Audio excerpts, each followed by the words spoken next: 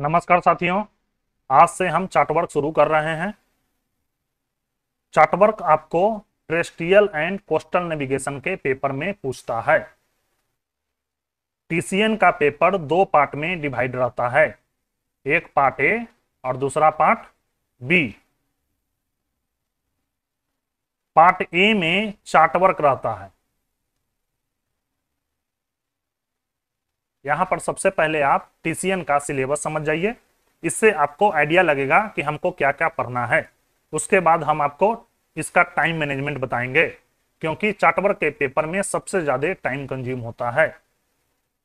Specially part A में, क्योंकि इसका आंसर दो जगह लिखना होता है। एक तो आपको चार्टवर्क पर पूरा प्लॉटिंग करना है, फिर आंसर सीट पर आके वह प्लॉटिंग का रफ डायग्राम बनाना है और आंसर लिखना है। इससे आपका टाइम कंज्यूम ज़्यादा होता है। तो टीसीएन के पेपर में टाइम मैनेजमेंट काफ़ी ज़्यादा ज़रूरी है।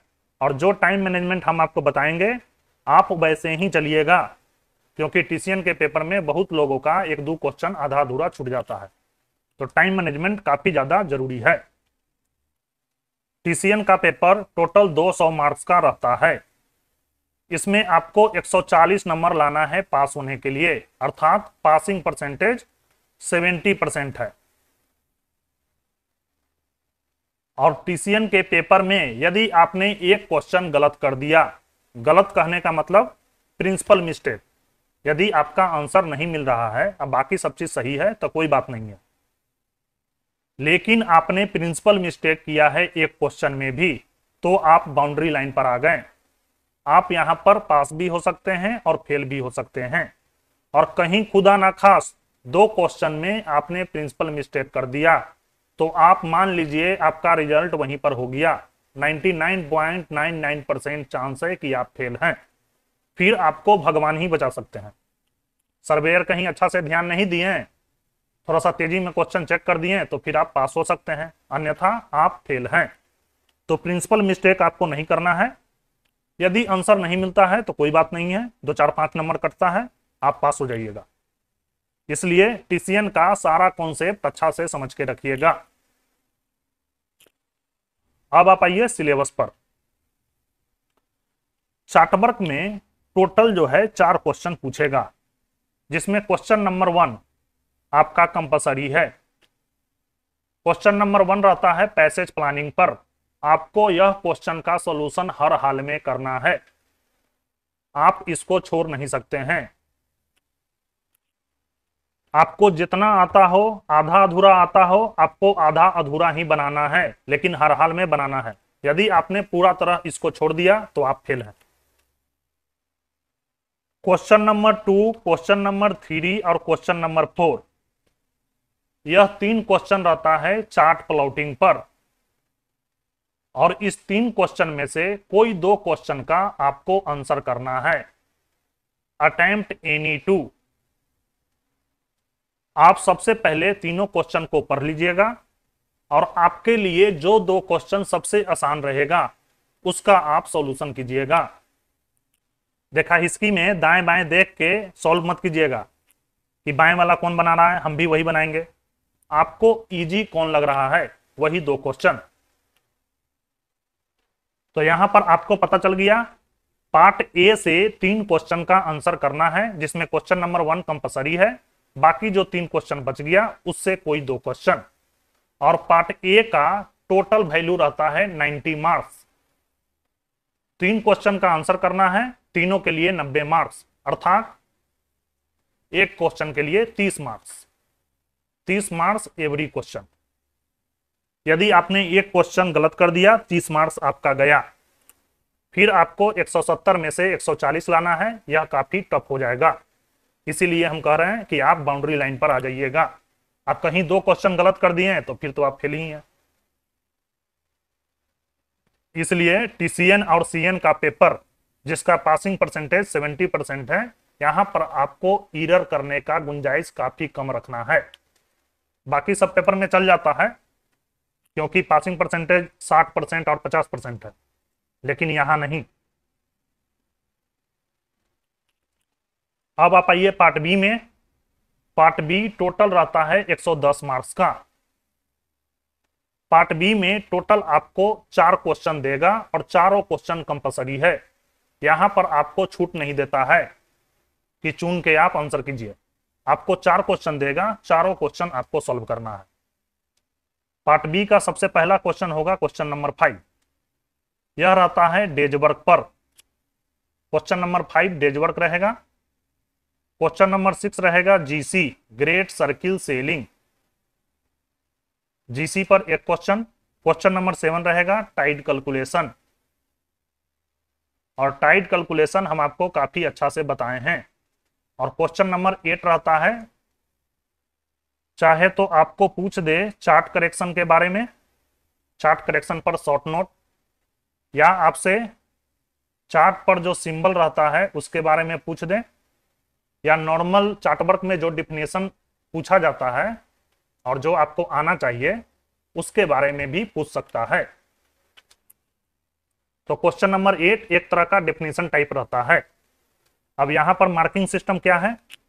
क्वेश्चन नंबर एट बीस नंबर का रहता है। और बाकी जो तीन क्वेश्चन बच गया, यह तीनों तीस तीस नंबर का रहता है। तो यहाँ पर देख लिए छह क्वेश्चन तीस नंबर का, तीस छको एक सौ अस्सी और एक क्वेश्चन बीस नंबर का। और यदि क्वेश्चन नंबर एट में सिंबल पूछ दिया तो आपके लिए इजी है, क्योंकि यह भी नोमेरिकल टाइप हो जाता है, आपको पूरा के पूरा नंबर मिल जाता है। और इससे चोरी करने में भी आसानी रहता है। कैसे? दाएँ बाएँ देख के आप मार सकते हैं। क्योंकि बहुत लोग दोस्त जो है ग्रुप में एग्ज़ाम देते हैं। तो पहले से ही बात करके रखते हैं कि हम बाथरूम के बहाने जाएँगे, तुम आंसर सीट थोड़ा खोल के रखना, हम सिंबल उम्बल रहेगा तो देख लेंगे। तो अब आपको टीसीएन के पेपर का सिलेबस का आइडिया हो गया होगा। अब हम आते हैं टीसीएन के पेपर में टाइम मैनेजमेंट क्योंकि यह काफ़ी ज़रूरी है। और अभी जो हम आपको टाइम मैनेजमेंट बता रहे हैं, आप वही फॉलो कीजिएगा। मेरा बताया हुआ टाइम मैनेजमेंट आप फॉलो कीजिएगा तो 99.9 परसेंट चांस है कि आपका एग्ज़ाम में टाइम के चलते क्वेश्चन नहीं छूटेगा। यदि क्वेश्चन आता ही नहीं है, तब तो अलग बात है। लेकिन क्वेश्चन आ रहा हो और उसके बाद भी तीन घंटा में पेपर नहीं हुआ, इसका मतलब है कि आपको टाइम मैनेजमेंट नहीं आता है तो इसलिए टाइम मैनेजमेंट टीसीएन में ज़रूरी है। और जैसे मैं बता रहा हूँ, आप गांठ बाँध लीजिएगा, वही फॉलो कीजिएगा। देखिए टीसीएन का पेपर के लिए आपके पास थ्री आवर का समय है मतलब 180 मिनट। टीसीएन के पेपर में सबसे पहले आपको पार्ट बी का आंसर करना है। हम क्या कर रहे हैं? सबसे पहले पार्ट बी और पार्ट बी को आपको डेढ़ घंटा में खत्म कर देना है। अर्थात 90 मिनट में। उससे ज़्यादा नहीं। पार्ट बी में टोटल चार क्वेश्चन है। इस चार क्वेश्चन में जो सबसे लास्ट क्वेश्चन होता है, अर्थात क्वेश्चन नंबर एट इसके लिए केवल आपको 10 मिनट रखना है। Maximum 10 minute. 10 मिनट बहुत ज़्यादा है। या तो आपको चार सिंबल रहेगा तो याद रहेगा तो फटाफट आपसे बन जाएगा। नहीं रहेगा तो लास्ट में आप दाएँ बाएँ देख के पता चल गया तो ठीक है, नहीं तो कोई बात नहीं है। छोटा छोटा चार पाँच को डिफिनेशन रहता है। दो दो मिनट में आपसे फटाफट लिखा जाएगा। तो क्वेश्चन नंबर एट के लिए ओनली टेन मिनट बाकी बचा आपको तीन क्वेश्चन इस तीन क्वेश्चन के लिए आपके पास है अस्सी मिनट मतलब प्रत्येक क्वेश्चन के लिए पच्चीस है पचहत्तर, छब्बीस, लगभग छब्बीस मिनट। छब्बीस मिनट एवरी क्वेश्चन अर्थात क्वेश्चन नंबर फाइव पर आपको 26 मिनट देना है क्वेश्चन नंबर सिक्स पर 26 मिनट और क्वेश्चन नंबर सेवन पर 26 मिनट। सबसे पहले आप क्वेश्चन नंबर फाइव को बनाइएगा, उसके बाद question number six question number seven और उसके बाद क्वेश्चन नंबर एट आपका पार्ट बी कंप्लीट हो गया। एक क्वेश्चन पर 26 मिनट से ज़्यादा नहीं एकदम घड़ी के टाइम से। 26 मिनट में बन गया तो ठीक है, नहीं बना तो जितना आप बनाए हैं उतना बना के छोड़ दीजिए। और आपको अंदाज़ा लगता है कि अभी एक पेज और लगेगा या आधा पेज और चाहिए तो उतना पेज भी आप छोड़ दीजिए। क्योंकि टाइम बचेगा तो फिर आगे सॉल्यूशन कीजिएगा। और प्रत्येक पेज पर कोना में आप पीटीओ लिख दीजिएगा पेज टर्न ओवर इससे जो कॉपी चेक करेंगे, उनको आइडिया लगेगा कि आगे और सोल्यूशन है। ना तो कभी कभी सादा पेज छोड़ के सॉरी कभी कभी सादा पेज देख के एग्जामिनर को लगता है कि आगे आंसर नहीं है, इसलिए पीटीओ भी लिख दीजिएगा। जो आंसर सीट रहता है आंसर सीट के एकदम नीचे, जो नीचे का मार्जिन रहता है, वहाँ पर पीटीओ और यदि 26 मिनट हो गया है और आपको लगता है कि एक दो मिनट में क्वेश्चन सॉल्व हो जाएगा तो फिर आप एक दो मिनट, तीन मिनट या चार मिनट मैक्सिमम तीन से चार मिनट आप एक्स्ट्रा ले सकते हैं। लेकिन तभी लीजिएगा जब आपको 100 परसेंट मालूम है कि चार मिनट में हमारा फाइनल आंसर आ रहा है। यदि आप फंस रहे हैं तो 26 मिनट टाइम दीजिए और नेक्स्ट क्वेश्चन नहीं तो क्या होगा? एक ही क्वेश्चन बनाने में आप ले लीजिएगा एक घंटा। और बाद में आपको टाइम बचेगा नहीं। और टाइम नहीं बचने के चलते पूरा क्वेश्चन ही छूट जाएगा। तो कम से कम आधा बनाइएगा तो आपको तीस में से पंद्रह नंबर तो मिल जाएगा। और नेक्स्ट क्वेश्चन बना दीजिएगा तो आपको उसमें से तीस में से पच्चीस, छब्बीस, सत्ताईस डिपेंड ऑन योर आंसर वो भी मिल जाएगा। नहीं तो तीस नंबर के फेर में एक पूरा तीस नंबर तो आप ऐसे ही गमा दिए। और इसमें से तीस में से कितना मिलेगा, भगवान ही जाने। तो आपको टाइम मैनेजमेंट आना ज़रूरी है। तो यहाँ पर आप समझ गए हैं टीसीएन के पेपर में सबसे पहले पार्ट बी को सॉल्व करना है। पार्ट बी के लिए only 90 minute question number five के लिए 26 मिनट क्वेश्चन नंबर सिक्स के लिए 26 मिनट क्वेश्चन नंबर सेवन के लिए 26 मिनट लास्ट का 10 मिनट आपको देना है क्वेश्चन नंबर एट पर। आपका पार्ट बी हो गया कंप्लीट अब पार्ट बी जब कंप्लीट हो जाए तो फिर आप आइए पार्ट ए पर। पार्ट ए के लिए आपके पास डेढ़ घंटा का टाइम है। और डेढ़ घंटा का टाइम भी आपको हो सके इनसफिशियंट लगे, क्योंकि चार्टवर्क में टाइम ज़्यादा खाता है। पार्ट ए में क्वेश्चन नंबर वन का सॉल्यूशन सबसे लास्ट में करना है। जब लास्ट का तीस मिनट आपका है तो क्वेश्चन नंबर वन का सॉल्यूशन करना है। बहुत लोग क्या करते हैं पार्ट बी खत्म करते हैं और पार्ट ए में क्वेश्चन नंबर वन को सबसे पहले सॉल्व करते हैं। तो आप ऐसा मत कीजिएगा, लेकिन आप ध्यान रखिएगा, यह कंपलसरी क्वेश्चन है। और लास्ट के 30 मिनट जैसे ही बचे, आपको क्वेश्चन नंबर वन पर चले आना है। बाकी क्वेश्चन बने या नहीं बने। हम ऐसा इसलिए कह रहे हैं कि पैसेज प्लानिंग कभी भी परफेक्ट नहीं होता है। आप चाहे तो इसको एक घंटा लेके बनाए। तीस में से बीस इक्कीस बाईस तेईस, उससे ज़्यादा नंबर नहीं देते हैं सर्वे तो बीस इक्कीस बाईस तेईस नंबर के लिए आप पैंतालीस मिनट, एक घंटा टाइम बर्बाद मत कीजिए। आधा घंटा दीजिए, आधा घंटा में सफिशियंट है कि आपको अठारह उन्नीस मिल जाएगा। बहुत अच्छा से बना दिए तो बीस इक्कीस बाईस, ये इसका मैक्सिमम मार्क्स है। उससे ज़्यादा तो आपको देंगे ही नहीं। तो दो चार नंबर एक्स्ट्रा लेने के लिए एक्स्ट्रा टाइम बर्बाद मत कीजिए। उतना टाइम में आपको पंद्रह बीस नंबर मिल सकता है दूसरा क्वेश्चन में। तो आप उस पर ध्यान दीजिए। तो क्वेश्चन नंबर वन को सबसे लास्ट में, लेकिन ध्यान रखना है, यह कंपलसरी क्वेश्चन है। लास्ट का तीस मिनट जैसे ही घड़ी के सुई मारे, आप आ जाइए क्वेश्चन नंबर वन पर। और कोशिश कीजिएगा कि आप लोग सभी अपना पर्सनल घड़ी पहन के जाएँ। इससे आपको टाइम का आइडिया लगता रहेगा। क्योंकि कभी कभी एग्ज़ाम हॉल में अचानक घड़ी पर नज़र पड़ता है। अरे बाप, एक घंटा टाइम बचा है पाँच पाँच क्वेश्चन बाकी है। तो फिर दिमाग आपका उड़ जाता है। हाथ में घड़ी लगा रहता है तो बीच बीच में आपको ऑटोमेटिक नज़र पड़ जाता है कि इतना टाइम और बचा है। तो पार्ट बी खत्म होते ही आपको सबसे पहले question number two question number three और क्वेश्चन नंबर फोर को पढ़ना है। अब इसमें से आपको चुन लेना है कौन दो क्वेश्चन हम आसानी से सॉल्व कर सकते हैं। तो सबसे पहले यह दो क्वेश्चन को सॉल्व कर लीजिए और एक क्वेश्चन के लिए मैक्सिमम तीस मिनट मैक्सिमम उससे ज़्यादा नहीं। और 30 मिनट हम क्यों दे रहे हैं? क्योंकि आंसर दो जगह लिखना है। और चार्टवर्क में कभी कभी तो आपको पोर्ट ही खोजने में एक दो मिनट लग जाता है। कौन सा पोर्ट, कौन सा लाइट हाउस है, यही खोजते खोजते आपको दो चार मिनट टाइम बर्बाद हो जाएगा। तो कभी आपका इंस्ट्रूमेंट बॉक्स गिरेगा, कभी दूसरा का गिरेगा, कभी पैरलर रूलर हिल जाएगा। तो दो चार मिनट चार्टवर्क में ऐसे ही बर्बाद हो जाता है। और आंसर भी लिखना है दो जगह। पहले चार्टवर्क पर पूरा प्लॉटिंग कीजिए। जब प्लॉटिंग हो जाए तो रफ डायग्राम आंसर सीट पर डालिए, फिर आंसर लिखिए। तो इसमें टाइम जाता है। इसलिए आप लोग ओवर कॉन्फिडेंस में नहीं रहिएगा। बहुत लोग क्या करते हैं? चार्टवर्क पर प्लॉटिंग किए और आंसर सीट पर डायरेक्ट क्वेश्चन नंबर टू का आंसर लेटीट्यूड इतना लॉन्गिट्यूड इतना। तो इससे आपको नंबर कम मिलता है।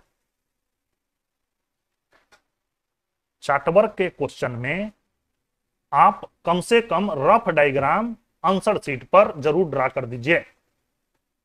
इससे आपका इंप्रेशन अच्छा बनता है। और बहुत सारा एग्जामिनर तो ऐसा है कि आंसर देखते हैं, आंसर लगभग एकदम मिलता जुलता है क्योंकि चार्टवर्क में भी एग्जैक्ट आंसर किसी से मिलता नहीं है। थोड़ा बहुत आंसर में लेटीट्यूड लॉन्गिट्यूड में अंतर है तो चलता है। और आंसर सीट पर ही वह डायग्राम देख लेते हैं। हाँ प्रोसीजर सही है। इसका मतलब है चार्टवर्क पर यह प्लॉटिंग अच्छा से किया होगा। तो चार्टवर्क पर उतना अच्छा से ध्यान ही नहीं देते हैं। तो वहीं पर आपको 30 में से 25, 26, 24 जैसा आप लिखे हैं उसके हिसाब से मिल जाता है। तो आप लोग हर हाल में रफ डायग्राम आंसर सीट पर ज़रूर बनाइएगा। तो पार्ट ए का question number two three four इस तीनों में से दो क्वेश्चन को सबसे पहले अटेम्प्ट कीजिए। एक क्वेश्चन के लिए तीस मार्क्स और इसके लिए तीस मिनट भी। जैसे ही तीस मिनट हो जाए, यदि आपका आंसर पूरा सॉल्व नहीं हुआ तो उतना ही पर छोड़ दीजिए। उसके बाद नेक्स्ट क्वेश्चन पर बढ़ जाइए। और जब लास्ट का तीस मिनट बचे तो फिर आप पैसेज प्लानिंग पर आ जाइए। तो ये था टीसीएन के पेपर का टाइम मैनेजमेंट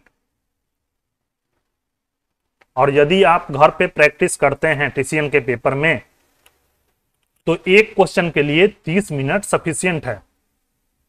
आप कोशिश कीजिएगा कि 20 से 25 मिनट में आपका सॉल्यूशन हो जाए और लास्ट में जो टाइम बचेगा, उससे आपका रिवीजन हो जाएगा या जो क्वेश्चन अधूरा रह गया है, वह आपका सॉल्व हो जाएगा। और यदि आपका प्रैक्टिस अच्छा है तो आप पार्ट बी का प्रत्येक क्वेश्चन 20 मिनट के अंदर सॉल्व कर सकते हैं। क्योंकि क्वेश्चन तो फिक्स रहता है। फॉर्मेट भी आप जान रहे हैं। बस फटाफट कैलसी चलाना है और आपको लिखना है। और टाइम उसी को ज़्यादा लगता है जो एक दो बार घर पे बना लिए हैं। कहें कि अब तो हम बना लेंगे। डायरेक्ट चलेंगे एग्ज़ाम हॉल में। तो वहाँ पर आप सोच सोच के लिखते हैं। उसी में टाइम आपका लॉस होता है। आपको कॉन्सेप्ट आ गया तो आप प्रैक्टिस कीजिए। प्रैक्टिस करके टाइम को कम कीजिए। अर्थात आप फास्ट सॉल्यूशन कीजिए। जब आपका स्पीड फास्ट हो जाएगा तो आपको एग्ज़ाम देने में भी मन लगेगा। तो ये आपका ऑल अबाउट टाइम मैनेजमेंट अब बहुत लोग चार्टवर्क के बुक के बारे में पूछते हैं। कहते हैं कि, सर, कौन सा बुक अच्छा है? दुबे साहेब वाला या पूरी साहेब वाला या बहुत सारे और भी राइटर हैं? तो चार्टवर्क का सारा के सारा बुक अच्छा है। आप कोई एक बुक फॉलो कर सकते हैं। और आपके इंस्टीट्यूट या कॉलेज में जो बुक आपको पढ़ाया जाता है, वही बुक आप फॉलो कीजिए। इससे आपका टोटल बेसिक कॉन्सेप्ट पूरा कंप्लीट हो जाएगा। और इसके बाद आप चले आइए क्वेश्चन बैंक पर, जो आपको सेकेंड मैट एग्ज़ाम में पूछा है। आपको दो तीन बुक पढ़ने की ज़रूरत नहीं है। बुक से आपको पूरा बेसिक कॉन्सेप्ट क्लियर हो जाएगा।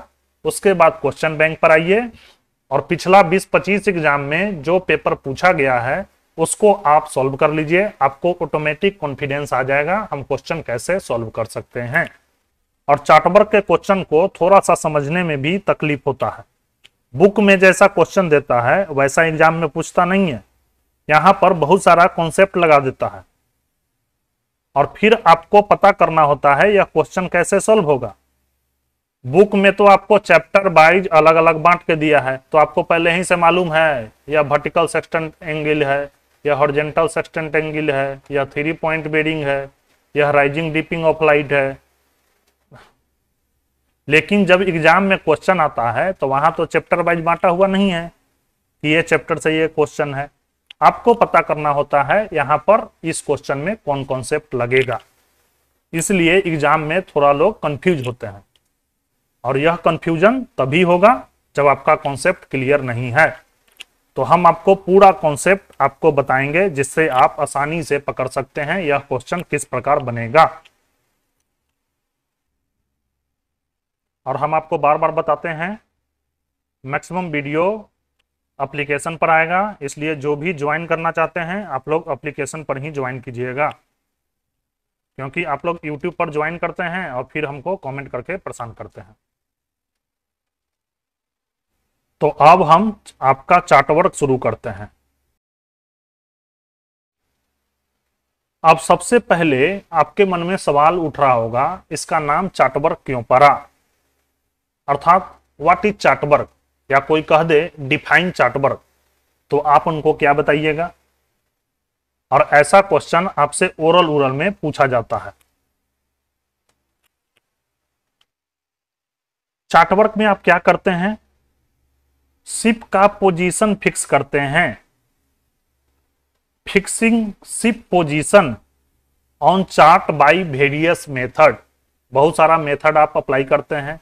Three point bearing running fix running fix with leeway and current horizontal sextant angle vertical sextant angle raising dipping of light तो fixing ship position on chart using various method और क्या काम करते हैं? Lay down of safe course from point A to point B chartwork के द्वारा आप एक जगह से दूसरे जगह जाने के लिए सेफ़ कोर्स का पता करते हैं। शिप का पोजीशन चेक करते हैं जब भेसल कोर्स को फॉलो करता है। Checking vessel position when following the course और ये सब हम क्यों करते हैं?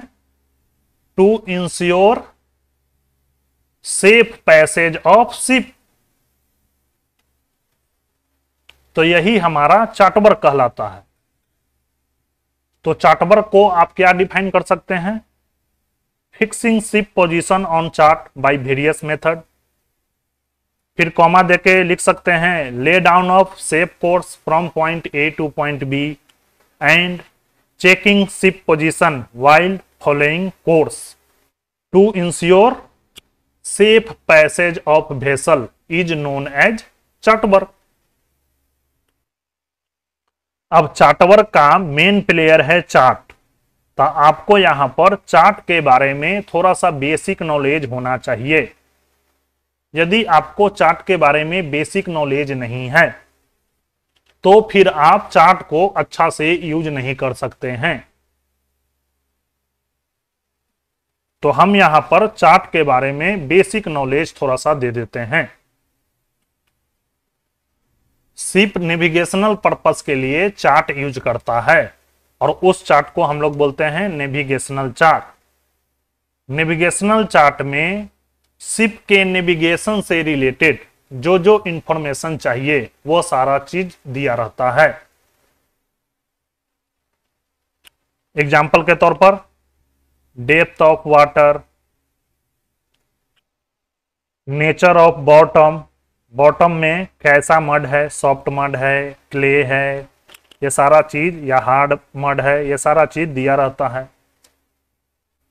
लाइट हाउस का डिटेल दिया रहता है डिटेल ऑफ़ कोस्ट लाइन जो डेंजर आसपास है, उसके बारे में भी दिया रहता है। जो भी नेविगेशनल एड्स है आसपास, वह सारा चीज़ आपको चार्टवर्क में दिया रहता है और उसी के मदद से आप नेविगेशन करते हैं। इसीलिए इसको बोलते हैं नेविगेशनल चार्ट। अभी हम चार्ट के बारे में मोटा मोटी ओवरव्यू दे देंगे, क्योंकि हमको जल्दी से जल्दी प्रैक्टिकल क्वेश्चन पर आना है, जो क्वेश्चन रिटेन एग्ज़ाम में पूछता है। तो क्वेश्चन सॉल्व करने के लिए चार्ट के बारे में जितना ज़रूरत हो उतना ही हम आपको बताएँगे। इसलिए शुरू के एक दो लेक्चर आपका बेसिक रहेगा और उसके बाद डायरेक्ट सिलेबस पर। लेकिन यह बेसिक भी काफ़ी अच्छा से सुन लीजिएगा, क्योंकि यह भी क्वेश्चन सॉल्व करने में काम आएगा और इसके साथ ही साथ मोस्ट इंपॉर्टेंट आपको ओरल में काम आएगा। और एक दो लेक्चर के बाद डायरेक्ट हम सेकेंड मैट का जो प्लॉटिंग वाला सिलेबस है, उस पर हम आ जाएँगे। अब देखिए, आप तो जान गए शिप को सेल करने के लिए नेविगेशनल चार्ट चाहिए। अब आप लोगों के मन में सवाल उठ रहा होगा, नेविगेशनल चार्ट बनता कैसे है? देखिए, नेविगेशनल चार्ट मेनली दो प्रोजेक्शन पर बनता है। एक होता है मार्केटर प्रोजेक्शन और दूसरा होता है नोमोनिक प्रोजेक्शन। इस दोनों के बारे में आप लोग सुने होंगे, और नहीं सुने हैं तो जान लीजिए। आपसे ओरल में पूछा जा सकता है। और most of the navigational chart अर्थात 95 percent navigational chart Mercator projection पर बनता है। ओनली 5 परसेंट चार्ट ही नोमोनिक प्रोजेक्शन पर बनता है। अब इस दोनों के बारे में भी थोड़ा थोड़ा आपको आइडिया होना चाहिए। सिर्फ़ आपको एक चिड़िया की तरह नाम नहीं रखना है।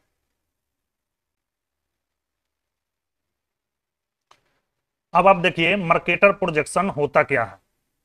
अभी हम आपको मार्केटर प्रोजेक्शन बता रहे हैं। हम मान लेते हैं, ये आपका अर्थ है। जो हम लोग ग्लोब बनाते हैं, ये आपका ग्लोब है। अब यह ग्लोब जो है, आपका बना हुआ है ग्लास का। ट्रांसपेरेंट है, इधर से उधर देख सकते हैं। और इस ग्लास पर, जैसे जो नॉर्मल मानचित्र रहता है वर्ल्ड का यह सारा चीज़ बना हुआ है। किधर लैंड है, किधर सी है, और सी में कहाँ पर कितना डेप्थ है, कहाँ पर कौन सा लाइट हाउस है, कहाँ पर डेंजर है, यह सारा चीज़ आपका इस ग्लोब पर डाला हुआ है। अब मर्केटर प्रोजेक्शन में क्या होता है? ये जो थ्री डी फिगर आप देख रहे हैं, इस थ्री डी फिगर को आपको टू डी पेज पर डालना है, जो चार्ट हम लोग यूज़ करते हैं।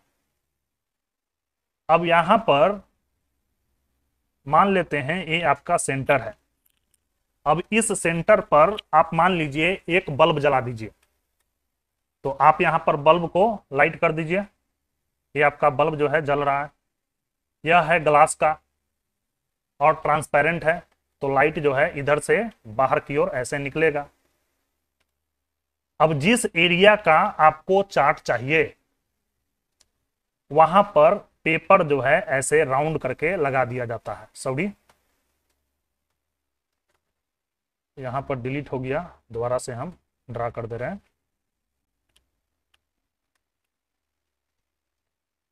ये आपका ग्लोब है। और जिस एरिया का आपको चार्ट बनाना है, वहाँ पर सिलिंड्रिकल शेप में इस ग्लोब के चारों तरफ़ ऐसे राउंड करके पेपर लगा दिया जाता है। और चार्ट बनाने का काम बहुत एक्सपर्ट लोग करते हैं। क्योंकि पूरा एंगल डिस्टेंस पूरा डायमेंशन सब चीज़ जो है एकदम फिक्स होना चाहिए। तो यह खिलौना वाला काम नहीं है। चार्ट बनाने में बहुत एक्सपर्टीज की ज़रूरत होता है। बस हम आपको ओवरव्यू बता रहे हैं चार्ट बनता कैसे है। तो सिलिंड्रिकल टाइप पेज लपेट देते हैं। यहाँ पर बल्ब जला दिए। अब इससे क्या होगा? ग्लोब पर जो भी फिगर रहेगा, जो भी मार्क रहेगा, वह सारा के सारा इस पेपर पर आ जाएगा। और पूरा टेक्नोलॉजी लगा रहता है, वह सारा इस पेपर पर प्रिंट हो जाएगा। अब जिस एरिया का चाहिए, उस एरिया का इन लोग ऐसे करते हैं। अब मार्केटर प्रोजेक्शन का फ़ायदा क्या होता है?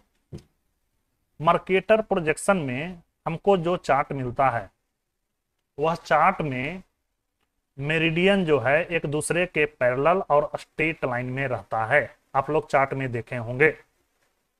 आप लोग मोस्टली जो है, चार्ट जो देखे होंगे, वह देखे होंगे मार्केटर प्रोजेक्शन पर।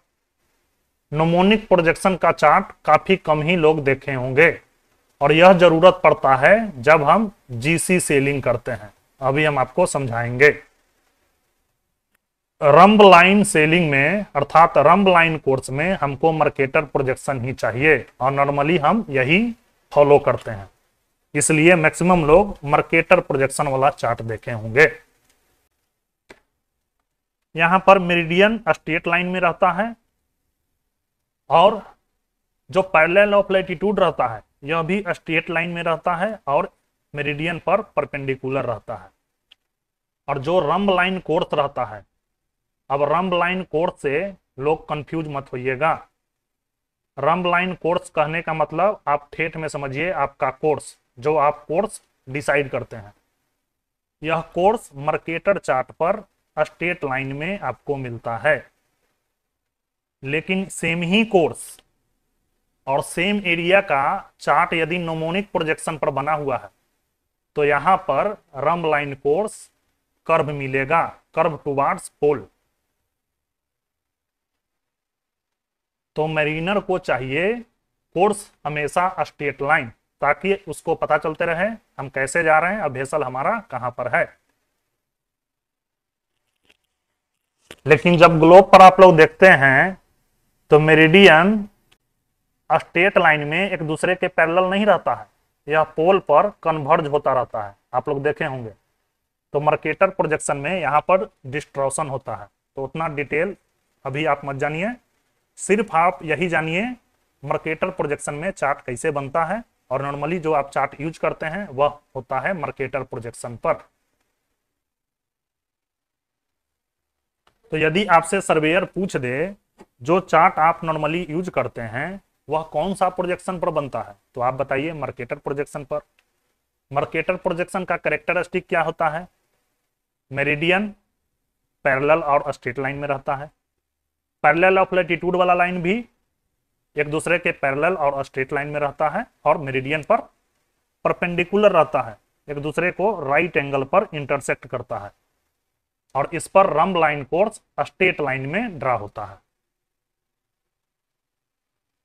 तो आपको इतना मार्केटर प्रोजेक्शन के बारे में जानना ज़रूरी है।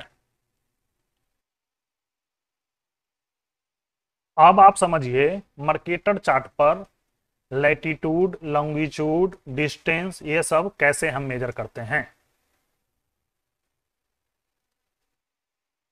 लॉन्गिट्यूड आपको रीड करना है, जिधर मेरिडियन वाला लाइन जाता है, अर्थात ये हॉर्जेंटल लाइन पर। और लेटीट्यूड रीड करना है, जिधर पैरेलल ऑफ़ लेटीट्यूड रहता है, अर्थात वर्टिकल लाइन पर। दोनों साइड मार्किंग दिया रहता है। तो लेटीट्यूड लॉन्गिट्यूड हो गया। अब आपका बचा डिस्टेंस। डिस्टेंस आपको हर हाल में लेटीट्यूड वाला स्केल पर मेजर करना है। अर्थात जिधर आप लेटीट्यूड रीड करते हैं, जिधर लॉन्गिट्यूड रीड करते हैं, उधर कभी भी डिस्टेंस आपको नहीं लेना है। तो डिस्टेंस के लिए एक पॉइंट तो यह हुआ। दूसरा आपको क्या ध्यान रखना है? डिस्टेंस आपको हमेशा मीन लेटीट्यूड पर मेजर करना है। हम मान लेते हैं यहाँ पर, अभी जो हम ब्लू से मार्क कर रहे हैं, हम मान लेते हैं ये आपका कोर्स है। इस दोनों के बीच में आपको डिस्टेंस मेजर करना है। हम मान लेते हैं ए वाला जो पॉइंट है, इसका लेटीट्यूड का वैल्यू है मान लेते हैं दस डिग्री। और ये जो दूसरा पॉइंट है, इसका हम मान लेते हैं ग्यारह डिग्री। अब यहाँ पर इस दोनों पॉइंट के बीच में डिस्टेंस मेजर करना है। तो हम आपको बताएँ डिस्टेंस हमेशा मीन लेटीट्यूड के बीच में मेजर करना है। तो आपको डिवाइडर से यहाँ पर ऐसे डिस्टेंस मेजर ले लेना है, दोनों पॉइंट के बीच में।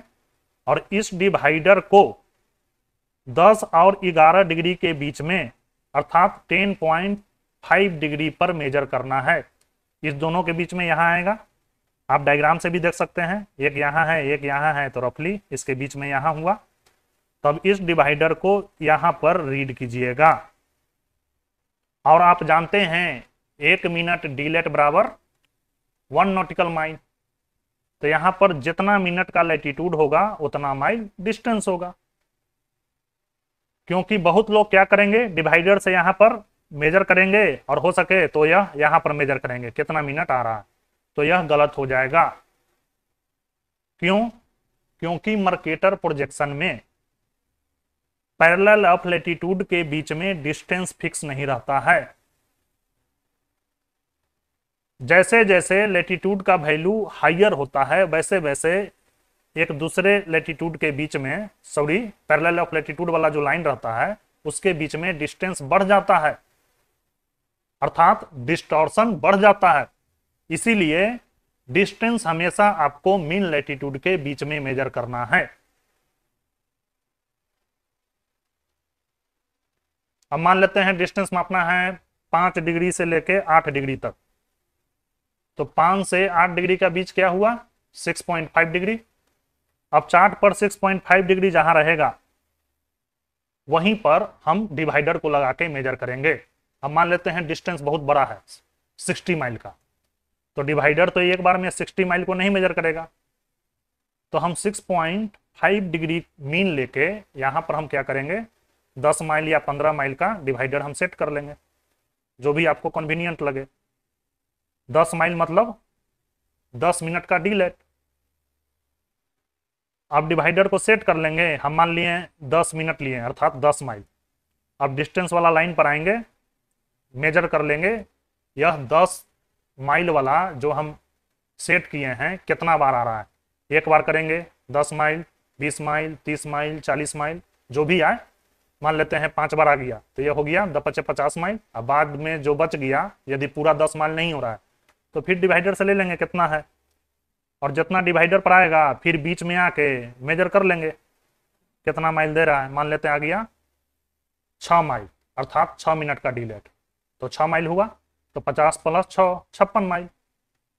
तो डिस्टेंस आपको हर हाल में लेटीट्यूड स्केल पर लेना है और मीन लेटीट्यूड पर मेजर करना है। ये नहीं कि बड़का चार्ट है तो जहाँ मर्ज़ी जहाँ ले लिए। आप जहाँ पर ड्रा किए हैं कोर्स उसी के सामने बीच में आप डिवाइडर से मेजर कीजिए। ये नहीं कि कोर्स ड्रा किए नीचे आप मेजर कर रहे हैं बहुत ऊपर या बहुत नीचे। जहाँ पर ड्रा किए उसी के बीच में। इससे जो डिस्ट्रॉशन होता है, इस डिस्ट्रॉशन के कारण जो इरर आता है, वह इरर खत्म हो जाता है। नहीं तो आपका डिस्टेंस गलत बताएगा। इसीलिए चार्टवर्क में जो चीज़ का ज़रूरत है, वह सारा बेसिक चीज़ अभी हम आपको बता दे रहे हैं, क्योंकि बेसिक चीज़ भी बहुत लोगों को नहीं आता है। तो ये तो आप समझ गए मार्केटर प्रोजेक्शन क्या होता है? मोस्टली चार्ट मार्केटर प्रोजेक्शन पर बना होता है, इसका प्रॉपर्टी क्या होता है और इस पर लेटीट्यूड लॉन्गिट्यूड और डिस्टेंस कैसे मेजर करते हैं। और आपका एग्ज़ाम में मार्केटर चार्ट पर ही क्वेश्चन आता है। अब आप आइए नोमोनिक प्रोजेक्शन पर। नीचे जो कचरा किए हैं, इसको थोड़ा सा हम क्लियर कर लेते हैं।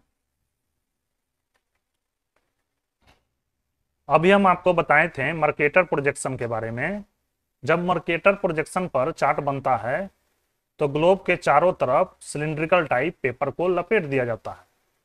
लेकिन नोमोनिक प्रोजेक्शन में सिर्फ़ पेपर को सरफेस पर रख दिया जाता है। अर्थात टेंजेंटियल इस पर एकदम टेंजेंटियल ऐसे रख दिया जाता है। इसीलिए नोमोनिक प्रोजेक्शन को टेंजेंटियल प्रोजेक्शन भी बोलते हैं। बाकी सब चीज़ सेम अब यहाँ पर रखा गया है। लाइट यहाँ से जलाएगा। तो ये वाला एरिया का पूरा मैप जो है पेपर पर आ जाएगा।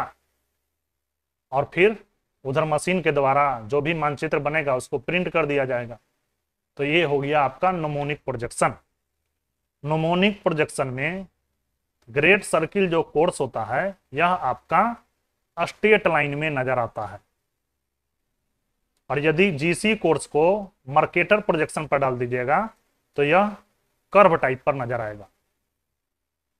और मार्केटर प्रोजेक्शन पर rhumb line course straight line में रहता है। और इसको यदि नोमोनिक प्रोजेक्शन पर डाल दीजिएगा तो यह हो जाएगा कर्व टाइप पर। तो एक दूसरा के उल्टा है। और नोमोनिक प्रोजेक्शन मोस्टली जो है हाइयर लेटीट्यूड के लिए यूज़ किया जाता है।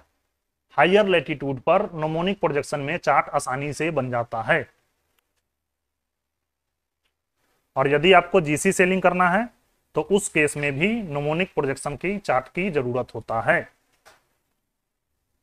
तो ये हम आपको बता दिए मोटा मोटी आइडिया के लिए, क्योंकि मोटा मोटी आइडिया आपको होना चाहिए। नोमोनिक प्रोजेक्शन का आइडिया ना है तो भी चलेगा, लेकिन मार्केटर प्रोजेक्शन का आइडिया तो आपको हर हाल में होना चाहिए। क्योंकि इस प्रोजेक्शन पर यदि आप सवाल नहीं बताते हैं तो आपको फेल कर सकते हैं। और यदि आपको डिटेल में पढ़ना है तो जो प्रिंसिपल ऑफ़ नेविगेशन का बुक है जोसेफ और रिवाड़ी साहेब का, उसमें आप लोग शायद पहला या दूसरा चैप्टर में दिया हुआ है। आप लोग देख लीजिएगा, वहाँ पर मार्केटर प्रोजेक्शन और नोमोनिक प्रोजेक्शन के बारे में बहुत अच्छा से बताया है। अब आइए चार्ट का स्केल के बारे में हम आपको बताते हैं। नॉर्मली जो चार्ट बनता है, वह तीन स्केल पर बनता है। या दूसरे शब्दों में कह सकते हैं on the basis of scale chart are three types. एक होता है स्मॉल स्केल चार्ट, दूसरा मीडियम स्केल चार्ट और तीसरा लार्ज स्केल चार्ट। देखिए, स्मॉल स्केल चार्ट को ओशियन चार्ट्स भी कहते हैं। अब आपको ध्यान कैसे रहेगा? स्मॉल स्केल चार्ट है। मतलब है कि सब चीज़ बहुत छोटा छोटा बनाया हुआ। है एक ही चार्ट में छोटा छोटा सब चीज़ बनाया हुआ है। तो जब सब चीज़ छोटा छोटा बनाया रहेगा तो आपको डिटेल पूरा इंफॉर्मेशन नहीं देगा। और स्मॉल स्केल चार्ट को ओशियन चार्ट इसीलिए बोला जाता है क्योंकि एक ओशियन के लिए एक चार्ट अब एक चार्ट में पूरा इंडियन ओशियन कवर कर देगा। एक चार्ट में पूरा नॉर्थ अटलांटिक ओशियन कवर कर देगा। इसीलिए इसको बोलते हैं ओशियन चार्ट इसमें बहुत कम इंफॉर्मेशन दिया रहता है और इसको मेनली यूज़ करते हैं प्लानिंग के लिए। जब आप पैसेज प्लान कर रहे हो और स्मॉल स्केल चार्ट को कभी भी कोस्टल नेविगेशन के लिए आप यूज़ मत कीजिएगा।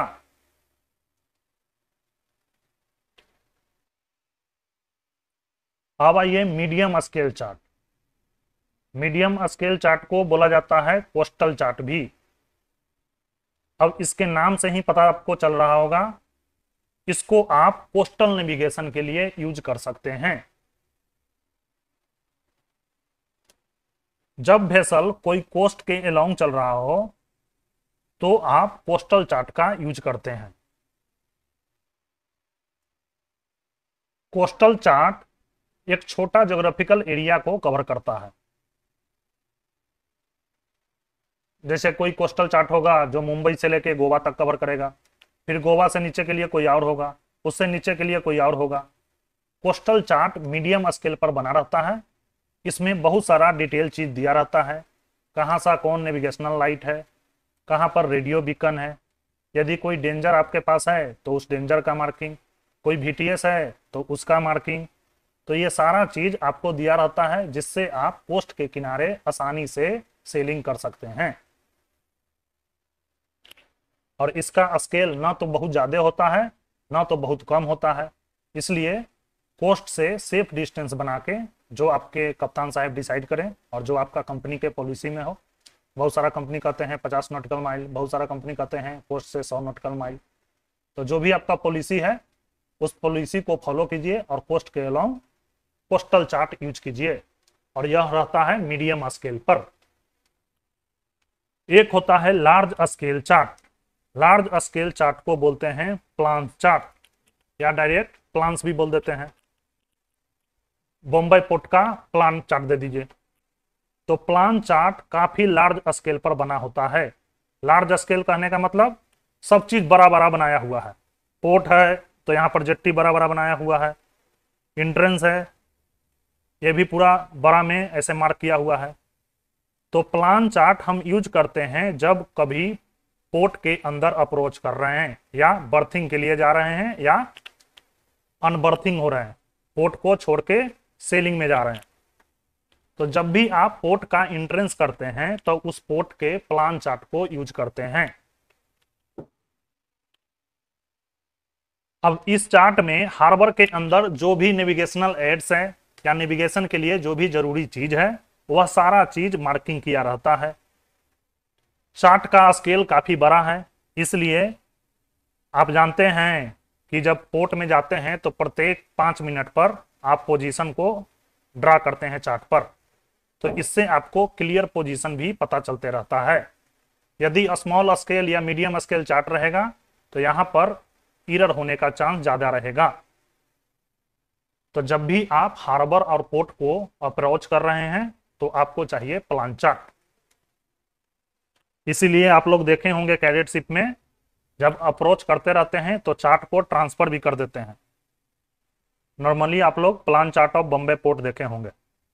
उसमें वहाँ पर बम्बे का इधर जेएनपीटी है, इधर इंदिरा डॉक है, उधर नावा सेवा है जेएनपीटी के अंदर। ये सारा चीज़ आपको चार्ट पर दिखता रहता है और एकदम बड़ा बड़ा अलग अलग चार्ट में आपको दिखाता रहेगा। और आपको नेविगेशन के लिए हमेशा लार्ज स्केल चार्ट यूज़ करना है। उस एरिया के लिए जो चार्ट सबसे लार्ज स्केल में बना हुआ है, वो आप यूज़ कीजिए।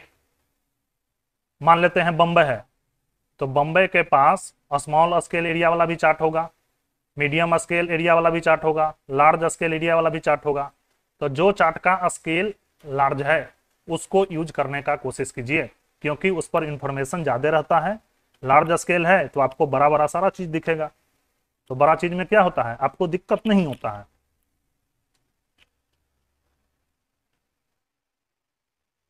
और पैसेज प्लानिंग का जब क्वेश्चन आता है तो ये पॉइंट आप लिख दीजिएगा। Use large scale chart of that area तो चार्ट के बारे में इतना सारा चीज़ आपको जानना ज़रूरी था। अब चार्ट के डिस्क्रिप्शन से रिलेटेड कुछ बेसिक चीज़ है जो आपको मालूम होगा। हम इसके बारे में विशेष बताएँगे नहीं, जैसे title of the chart chart का टाइटिल क्या होता है? मान लेते हैं यह चार्ट है। इस चार्ट का एक नाम होता है और इसका नाम क्या होता है? जिस एरिया के लिए यह चार्ट बनता है। अब एग्ज़ाम्पल के लिए आप लोग देखे होंगे इंडिया बेस्ट कोस्ट चार्ट अब एक चार्ट में इंडिया का पूरा बेस्ट कोस्ट कवर किया हुआ है। तो यह ज़रूर है, यह medium to small scale chart होगा। तभी ना एक ही चार्ट पर सारा चीज़ कवर हो जाएगा। यह छोटा छोटा या ज़्यादा से ज़्यादा मीडियम साइज़ में सब चीज़ को दिखाएगा। लार्ज स्केल में दिखाएगा तो एक चार्ट में कवर नहीं होगा। उसी प्रकार आप देखे होंगे बॉम्बे पोर्ट का प्लान चार्ट तो यह क्या हुआ? Title of the chart chart का नंबर भी होता है। चार्ट का नंबर आपको कॉर्नर में, ऊपर में और नीचे में लिखा रहता है। और प्रत्येक चार्ट का अलग अलग नंबर रहता है, जो हाइड्रोग्राफिक ऑफ़िस डिसाइड करता है। Chart number one, chart number one का टाइटिल क्या है? अर्थात कौन सा जोग्राफिकल एरिया को कवर कर रहा है? Chart number two chart number three वैसे ही बहुत सारा चार्ट रहता है। आप लोग को सॉरी आप लोग को पढ़ना भी है, जैसे फाइव ज़ीरो सिक्स फाइव यह आपका चार्ट नंबर है। फिर आपको ब्रिटिश चैनल वाला चार्ट पढ़ना है तो ब्रिटिश चैनल चार्ट क्या हुआ? यह हुआ आपका टाइटिल ऑफ़ द चार्ट इसी प्रकार date of publication date of printing फिर करेक्शन ये सब चीज़ आप लोग पढ़ लीजिएगा, अभी हम आपको नहीं बताएँगे। क्योंकि हमको क्विकली जाना है सेकेंड मेट के रिटर्न में जो क्वेश्चन पूछता है, अर्थात प्लॉटिंग वाला क्वेश्चन तो जो चार्टवर्क से रिलेटेड बेसिक डिफिनेशन है, जैसे leading light drawing height plate dimension date of publication date of printing new edition chart ये सारा चीज़ आप लोग पढ़ लीजिएगा, आपको आसानी से पता चल जाएगा। फिर करेक्शन के बारे में पढ़ लीजिएगा, क्योंकि क्वेश्चन नंबर एट में आपको यही सारा चीज़ का बेसिक डिफिनेशन पूछता है। या तो आपसे सिंबल पूछेगा या बेसिक डिफिनेशन पूछेगा। तो ये सारा चीज़ आप लोग पढ़ लीजिएगा। और जब प्लॉटिंग का हम पूरा सिलेबस कवर कर देंगे, उसके बाद हम टाइम रहेगा तो ये बेसिक चीज़ कभी ना कभी कवर कर देंगे।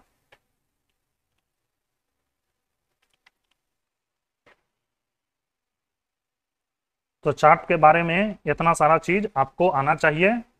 तो अब हम आपको समरी बता देते हैं, जब भी आप चार्ट यूज़ कर रहे हैं।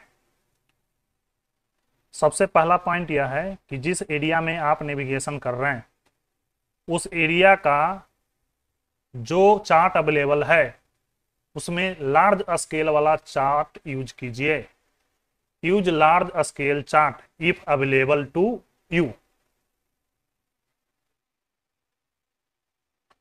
अब चार्ट का टाइटिल लिखा रहता है। टाइटिल के नीचे साउंडिंग का यूनिट लिखा रहता है। चार्ट में साउंडिंग दिया रहता है ना? तो साउंडिंग का यूनिट लिखा रहेगा। लिखा रहेगा डेप्थ इन मीटर अब जितना भी चार्ट आता है, उस सब पर डेप्थ इन मीटर ही रहता है। पहले जो चार्ट बनता था, उसमें डेप्थ इन फैदम भी रहता था। लेकिन एक बार आप लोग ध्यान दे दीजिएगा।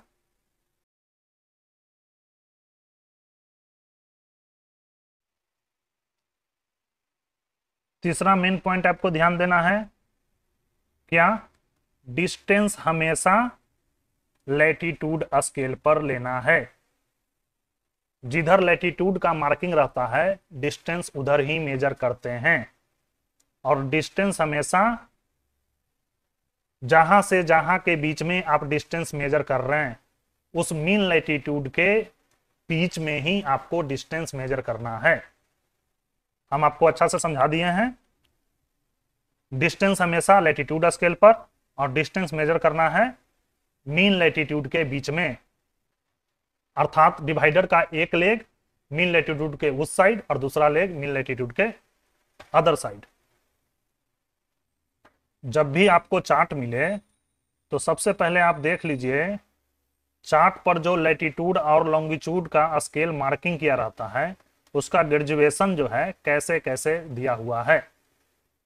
जैसे दिया रहेगा, इधर मान लेते हैं लॉन्गिट्यूड है फाइव डिग्री उसके बाद सिक्स डिग्री मार्किंग है बीच में छोटा छोटा पाँच लाइन फिर एगो थोड़ा सा बड़ा, फिर छोटा छोटा।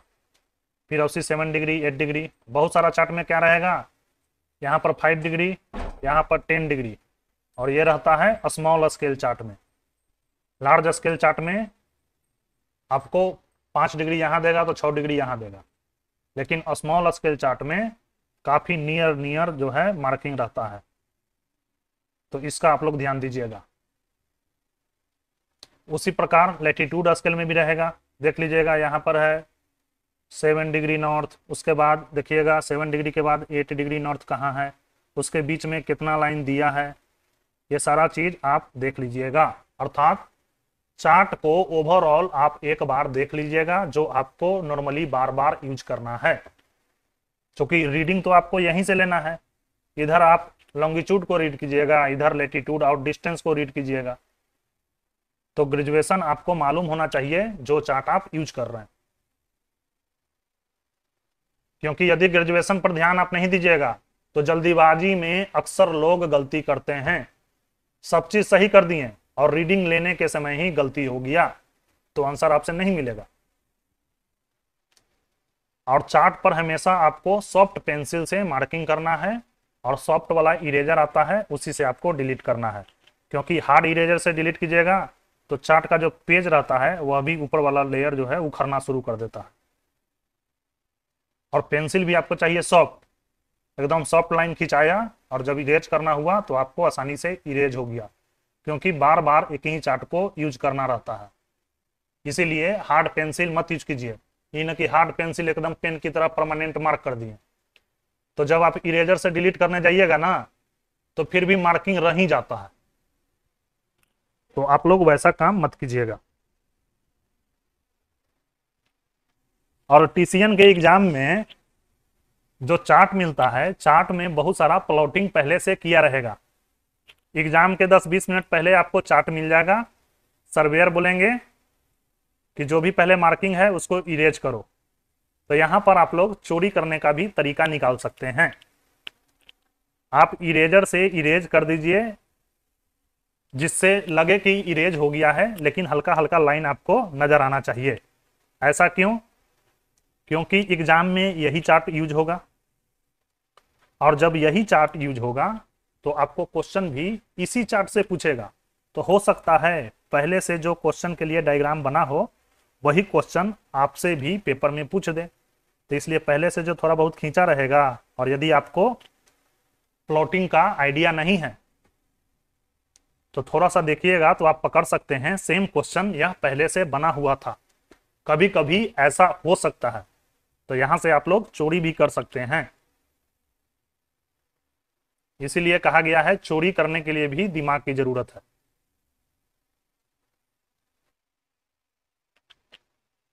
चार्ट पर कैंपस रोज का मार्किंग रहता है। यह कैंपस रोज आप समझ लीजिए। यह काफ़ी इंपॉर्टेंट है। चार्ट पर कैंपस रोज दो तीन जगह मार्क किया रहता है। सुटेबल जगह देख के दो तीन जगह मार्क किया रहता है। कैंपस रोज का यूज़ क्या है? बेरिंग और कोर्स ड्रा करने के लिए। और जो कोर्स ड्रा किया हुआ है, उसका डायरेक्शन रीड करने के लिए। या दूसरे शब्दों में कहें तो कैंपस रोज का मेन काम है डायरेक्शन को रीड करना। अब कैंपस रोज को थोड़ा अच्छा से समझ लीजिए क्योंकि इसमें काफ़ी इंपॉर्टेंट चीज़ दिया रहता है और इस पर आपसे नोट भी पूछा जा सकता है और ओरल में भी काफ़ी क्वेश्चन इस पर पूछा जा सकता है। आप देखे होंगे कैंपस रोज दो कॉन्सेंट्रिक सर्किल से बना होगा। सबसे आउटर वाला जो सर्किल रहता है, उस पर देखे होंगे, यहाँ पर नॉर्थ मार्क किया रहेगा। तो सबसे आउटर वाला सर्किल पर जो नॉर्थ मार्क किया रहता है, यह रहता है जोग्राफिकल नॉर्थ अर्थात ट्रू नॉर्थ और इनर जो सर्किल रहता है, इस पर भी मेरिडियन का मार्किंग रहता है। लेकिन यह जो मेरिडियन रहता है, यह आपका शो करता है मैग्नेटिक मेरिडियन तो ट्रू नॉर्थ के पास एक और नॉर्थ का मार्किंग रहेगा अंदर वाला सर्किल पर।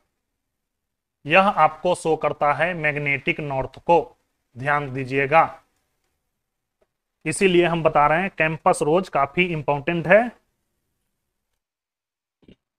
और आप जानते हैं ट्रू नॉर्थ और मैग्नेटिक नॉर्थ के बीच में जो एंगल रहता है, उसको बोलते हैं वेरिएशन तो इस वेरिएशन का वैल्यू भी आपको कैंपस रोज में दिया रहता है।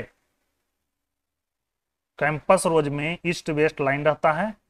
यह ईस्ट वेस्ट लाइन पर वेरिएशन का वैल्यू दे देगा। जितना डिग्री का डिफरेंस रहता है, यहाँ पर दे देगा। मान लेते हैं टू डिग्री और वेरिएशन का नाम ईस्ट है कि वेस्ट है, आपको यहाँ से भी पता चल जाएगा। यदि मैग्नेटिक नॉर्थ ट्रू नॉर्थ के ईस्टवार्ड में है तो यह ईस्ट होगा। और नहीं तो इधर रहेगा लेफ़्ट साइड तो यहाँ पर वेस्ट होगा। तो यहाँ पर वेरिएशन दे देगा। उसके बाद ब्राइकेट में ईयर दे देगा। मान लेते हैं one nine nine two two zero zero एक यह ईयर क्या दिखाता है? यह ईयर दिखाता है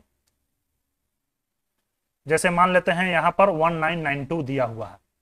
तो यह बता रहा है, उन्नीस सौ बानवे में इस प्लेस पर वेरिएशन का वैल्यू टू डिग्री वेस्ट था। जो भी आपको कैंपस रोज में रहेगा, वो आप ले लीजिएगा। तो यह आपको साल बता रहा है। तो आपको यहाँ पर पता चल गया, उन्नीस सौ बानवे में वेरिएशन टू डिग्री वेस्ट था। अभी चल रहा है 2003 2003 में कितना होगा? यह कैसे पता चलेगा? सॉरी 2023 चल रहा है। तो बानवे और तेईस के बीच में कितना साल का डिफरेंस हो गया? इकतीस साल। तो इकतीस साल का डिफरेंस भी आपको निकालना होगा। यह आपको कैसे पता चलेगा? ईयरली कितना चेंज होगा वेरिएशन यह भी आपको बगल में दे देगा। मान लेते हैं दे दिया 0.2 डिग्री ये आपको इटैलिक में लिखेगा हल्का तिरछा। तो एक साल में वेरिएशन यहाँ पर 0.2 डिग्री चेंज हो जाएगा। अब पॉइंट टू डिग्री से इंक्रीज करेगा कि डिक्रीज करेगा यह भी कैंपस रोज में लिखा रहता है। और इस पर जब हम प्रैक्टिकल क्वेश्चन लेंगे तो आपको अच्छा से समझ में आ जाएगा। अभी हम आपको बता दे रहे हैं मोटा मोटी और जो समझ गए अच्छा बात है नहीं समझे तो क्वेश्चन के समय आप अच्छा से समझ जाइएगा। तो जो ईयरली चेंज का वैल्यू रहता है, यह भी आपको दे देगा। तो ईयरली चेंज के वैल्यू से आप आसानी से निकाल सकते हैं। अभी प्रेजेंट में इस जगह पर वेरिएशन का वैल्यू कितना है?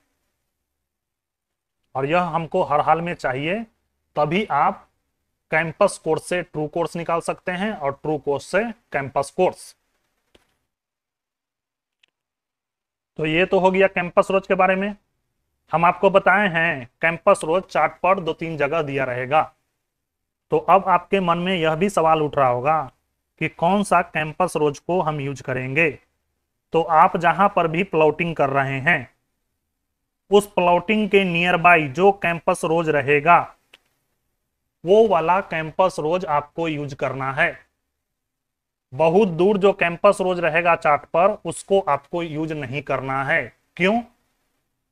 इसके पीछे कारण यह है कि आप जानते हैं अलग अलग प्लेस पर अलग अलग वेरिएशन होता है। अर्थात, जगह यदि चेंज हो गया तो मैग्नेटिक मेरिडियन थोड़ा सा चेंज हो जाता है। तो जो नियर बाई कैंपस रोज रहेगा, उसको यूज़ कीजिए। और उस कैंपस रोज से जो भी वेरिएशन का वैल्यू रहेगा यदि आपको ज़रूरत है तो वो वाला वेरिएशन यूज़ कीजिए। क्योंकि आप जान रहे हैं कि वेरिएशन अलग अलग प्लेस पर अलग अलग होगा तो जो नियर बाई रहेगा, वह सही वेरिएशन रहेगा। दूसरा फ़ायदा क्या होगा? क्योंकि पैरलर रूलर को आप बार बार शिफ्ट करके ज़्यादा दूर ले जाइएगा तो इसमें हिलने डुलने के कारण इरर होने का चांस ज़्यादा है तो इससे भी आप बच जाइएगा। तो आपको दोनों तरफ़ से फ़ायदा है। तो जहाँ भी आप प्लॉटिंग कर रहे हैं, उसके नियर बाई जो कैंपस रोज है, उसी को आपको यूज़ करना है। यदि पूरा चार्ट में सिर्फ़ एक ही कैंपस रोज दिया है तो आपको कोई ऑप्शन नहीं है। आप सिर्फ़ उसी को यूज़ करिएगा। लेकिन दो तीन दिया है तो जो आपके नियर बाई है, उसको आप यूज़ कीजिए। और आप लोग भी कैंपस रोज देखिएगा तो आप ध्यान दीजिएगा तो आपको मिलेगा अलग अलग कैंपस रोज पर अलग अलग वेरिएशन भी। तो यहाँ पर कैंपस रोज के बारे में समझ गए होंगे। बाहर वाला सर्किल पर जो ऊपर मार्क किया रहता है, यह रहता है ट्रू नॉर्थ इनर वाला सर्किल पर जो मार्किंग रहता है, यह रहता है मैग्नेटिक नॉर्थ अर्थात मैग्नेटिक मेरिडियन को शो करता है। दोनों के बीच का डिफरेंस आप जानते हैं वेरिएशन होता है। यह आपको ईस्ट वेस्ट वाला लाइन पर लिख के देगा। और ब्रैकेट में आपको ईयर भी लिख देता है। यह आपको यह बताता है कि किस साल कितना वेरिएशन था। उसके बाद जो एनुअल चेंज रहता है, उसको भी यह लिख देता है। यदि इंक्रीजिंग हो तो लिख देगा इंक्रीजिंग फाइव मिनट या डिक्रीजिंग यदि घट रहा होगा तो डिक्रीजिंग अब इंक्रीजिंग डिक्रीजिंग कैसे डिपेंड करता है? मैग्नेटिक मेरिडियन ईस्टवार्ड शिफ्ट हो रहा है कि वेस्टवार्ड शिफ्ट हो रहा है? अब जितना डिग्री जितना मिनट से प्रत्येक ईयर यह शिफ्टिंग हो रहा होगा उसके अनुसार यह डिक्रीजिंग इंक्रीजिंग लिख देगा। और प्रजेंट में आपको वेरिएशन चाहिए तो ईयरली चेंज को आप अप्लाई कीजिए और प्रजेंट वेरिएशन मिल जाएगा आपको। तो उम्मीद करते हैं आज आपको चार्ट के बारे में बेसिक आइडिया चल गया होगा। एक दो लेक्चर और आएगा बेसिक चार्ट वर्क पर, उसके बाद डायरेक्ट आएँगे सेकेंड मेट वाला प्लॉटिंग पर। तो मिलते हैं नेक्स्ट लेक्चर में तब तक के लिए धन्यवाद।